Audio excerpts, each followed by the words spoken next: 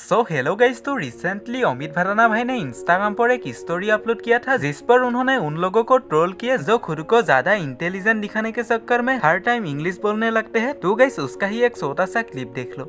आपने कई बार देखा होगा, कुछ प्रतिशत लोगों में अंग्रेज़ी बोलने का एक अलग ही चस्का होता है, एक अव्वल दर्जे का चस्का।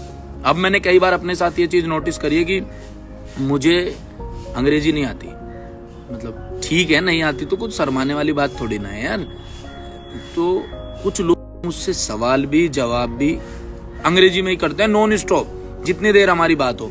उन्हें पता है कि नहीं आती, पर फिर भी लगे हुए पता ही नहीं क्या कारण है भाई। और चलो, जिन्हें आती है, उनकी समझ आती है, जिन्हें नहीं आती है, भाई, वो भी बोलने की कोशिश कर रहे होते हैं।